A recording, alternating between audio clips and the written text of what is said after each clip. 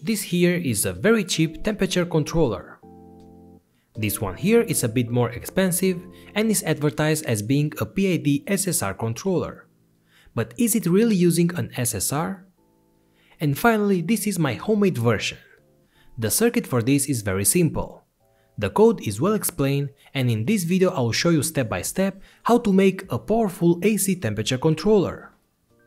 This device could measure precisely the temperature from a thermocouple, display those values on a screen, calculate a PID algorithm, and control a solid-state relay according to those values in order to control the power applied to a heating element. I already have a video on this topic, but that circuit got a bit complicated because it was using a trigger pulse to control a triac and at the same time I was rectifying and detecting the 50Hz AC line with optocouplers, rectifiers, comparators and so on and that made the circuit too difficult to understand for some of you guys. That's why today I will show you a basic homemade temperature controller that could work with high loads, depending on the relay that you use. So guys, let's get started.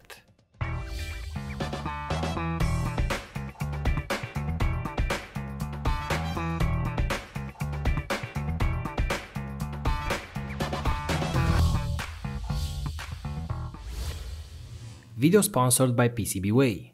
You should try their services for flexible PCBs. You could get the rigid flex or the totally flexible PCBs of 1 up to 8 layers. You could apply different settings such as the PCB thickness from 0.08 up to above 0.4 mm. So go to PCBWay.com and try one of their services for PCB prototype, the flexible PCBs, components assembly or the SMD stencil, and their new services for injection molding, printing and CNC milling of 3D parts, and laser cutting. Depending on your project, PCBWay adapts to your needs. So place your order now for prices starting from only $5. What's up my friends, welcome back. So first let me show you what these two temperature controllers have inside and how to use them. For example, this small one could be connected to 220 volts AC with the red and black wire and then we connect the heat element onto the yellow and the other black wire. And here this is the thermocouple that is sensing the temperature. So this controller can work with 220 volts AC, so I will connect this heater. Because this is a 220 volts AC heater. I've placed the thermocouple on top of it so it could measure the temperature. As you can see, once it's powered, you can only set the temperature in degrees, and it will turn the heater on and off and keep the selected temperature. When the set value is reached, it will turn off, and when we are below the set temperature, it will turn on. Simple as that. Okay, so I open it and take out the PCB so we could take a look inside. And as I thought, we have some sort of voltage regulation, because the module is powered from 220 volts AC and the digital part is working at 3.3 volts DC. So to lower the voltage and get the DC value, on the PCB we have first a small rectifier, then a capacitor followed by a small transformer, and also a driver IC just below that. So these four elements will create around 12 volts DC from those 220 volts AC. So have that in mind, because if we want to make our own high voltage homemade controller, we would also need to do that. I can also see a small 3.3 volts linear voltage regulator and that will supply the entire digital part. We have a small microcontroller, and this will read the temperature from the thermocouple, read the push buttons, and control the 7 segment display. And then it will also control this small relay here. Now here is the interesting part. You see this is a coil based relay, one like this one here, but a bit smaller. The way this component works is that when you apply a voltage to the internal coil, this will create a magnetic field that is powerful enough to attract the metal contact in front of it. And like that we close the circuit. But this mechanism is very slow. It can work with high frequencies and also create sparks and noise.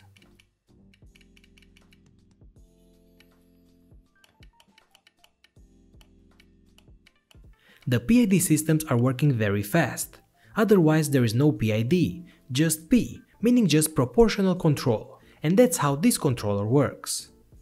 As you can see here, the thermocouple is measuring the light bulb temperature. And each time the temperature is below 30 degrees, the light bulb will turn on. When the temperature passes above 30 degrees, the light will turn off, and this will repeat on and on, and this is called a proportional control. That works quite good, but it will always have a small range of oscillation. So instead of a coil relay, we could use a solid-state relay, also called SSR. With this component we don't have the clicking sound and no sparks. But dimming AC power is more difficult. For that just check my previous video on the zero cross detection and triac control. Basically with the SSR, if the control input is high, it will enable the output only on the zero cross of the main AC signal, which is the point where the AC voltage is passing from positive to negative or vice versa. So if I apply a PWM signal for example to the SSR, because they can't have exactly the same frequency and it's impossible to start them at the same time without a feedback, this could happen. In some cases the AC is turned on when we are at low values, and in other cases is turned on when we are at high values, and that won't dim the power, only make it flicker. To precisely control the AC voltage, we need to first detect the zero cross and then calculate the time between the zero cross and the firing pulse applied to the relay. So please see more about this on my previous tutorial. Okay, so hear me out. Using this without a feedback from the zero cross, with a light bulb, we would have a lot of flickering. But since we will control a heating element, we don't care about flickering. So what we could do is to turn the SSR fast enough to better control the temperature, because with an AC heater, which is basically a simple resistive load, we don't care about that, and the control would be very good. This might create a lot of noise, because of the fast switching of the signal. Oh and by the way, if I open the other so-called PID controller, which shows that it's using an SSR, well I think this is a solid-state relay and this time the circuit is more complicated. Maybe because this is also detecting the zero cross and dim the power, not just turning it on and off. Actually I've also connected this, and it's not a PID. It's just turning on and off the power as the other one, but maybe in a more controlled manner. Interesting, this controller has a UART port, so maybe we could get some data out from it. Anyway, let's see the part list. First thing first, to lower the voltage from 220 volts AC to 12 volts DC for the digital part, I will use this small transformer regulator. From here I can supply 12 volts directly to the Arduino, and this Arduino will run the code, control the SSR, print the data to the screen and read the push buttons so we also need an Arduino Pro Mini because this one is smaller. Three push buttons like these ones, one OLED display with an I2C communication to print the temperature and the set point, and an SSR module. This here for example could handle only 2 amps at 240 volts, so that is less than 500 watts. But for example, here I have my old electric heater that got broken. The heating element inside still works but the thermocouple and the temperature control got broken. This is a 2000 watts heater, so for sure we would need a more powerful SSR. For that I also have this other two. One is for 25 amps and the other one is for 40 amps. You could also buy this with a heat dissipator. With these ones we could control more power. But anyway, I will use my controller with two of these small heaters and this will have less than 500 watts, and this is for a future filament extruder, so in my case I will use the small relay for now. To measure the temperature I will use a K-type thermocouple and the MAX 6675 amplifier to read the data. Extra components you should have are some wires, maybe an LED, some prototyping PCBs to solder everything and a case. You could make this case yourself, or maybe just download my design from below and print it.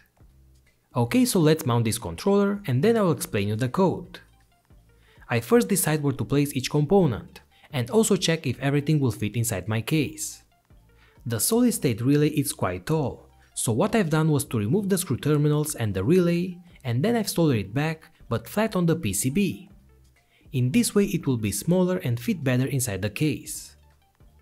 Also a heat dissipator will definitely not fit inside this case so get the schematic from below. I solder wires to the display and then I glue it inside of the case with hot glue. Then I glue the push buttons like this on the small plastic part. I also connect ground wires and the signal to each button. Now I'll use these thread insertions. I use my soldering iron and fix them in place. I add the buttons part and using some entry screws, I fix that part in place. Then I add the LED on this hole and also with a resistor and some wires. And now I solder thick wires to the transformer voltage regulator. I solder two black and two red wires. Also add some shrinking tubes for insulation and solder the output wires as well. Now I can glue this module inside of the case. Next we solder wires to the relay module. I connect the relay with the wires from the main input of 220 volts. Then we have to insulate this high voltage part, and for that I will just use some electrical tape.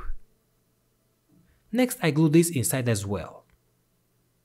So now on top of everything I add a piece of plywood. And on top of this I will glue the Arduino and a small prototyping PCB. And from here I will make all the connections as you can see in the schematic and we have a lot of small wires. Then connect the thermocouple to the amplifier module and that's it. Now that everything is connected, get the FTDI programmer. Connect it to the Pro Mini, download the code from below and upload it. So this is the code for the controller. We have three main loops. When the heater is cold and we just turn it on, we have the ramp up loop. And here the SSR will be fully turned on and then when we get close to the desired value, we start some sort of PID control. And that will change the pulses applied to the SSR. The frequency of these pulses must be very low, because the AC signal is only 50 or 60 Hz, depending on your country. So with these lines in the code, I set that pulse to 30 Hz. When we power off the controller, we go to the cooldown loop, and here we power off the relay, but we are still monitoring the temperature. In order to detect the three push buttons, I'm using interruptions and a debounce, in order to make sure that we don't read noise. So read the code line by line for more. So now the controller is ready, I can now close the case. We have a few wires that are coming out from the controller. One is for the thermocouple. Two more are for the 220 volts AC input, and the other two are for the load connection, just as we have with any other commercial controller. I power my homemade controller at 220 volts from my main outlet, and I add a light bulb for this test as a load, in order to see the effect, and later we will add the heater. So when I power the controller, the light is always on, because the set point is way higher than the real temperature, and now we are into ramp mode. When I hit the thermocouple, the light will start to blink, and by that it will regulate the power in the PID mode. And if I press the middle button, I can stop the power. With the other two push buttons, I can change the temperature set point. And this value will get stored onto the EEPROM, so even if I power off the controller, when I power it back on, we will still have the same set point value. Now I take out the light bulb and add the heater. I tape the thermocouple in contact with the heater using some Kapton tape. Then I power the controller and the temperature will rise. I could see that the temperature was a bit lower than the set point. So I've opened the case once again and uploaded a new code, with the P constant a bit higher.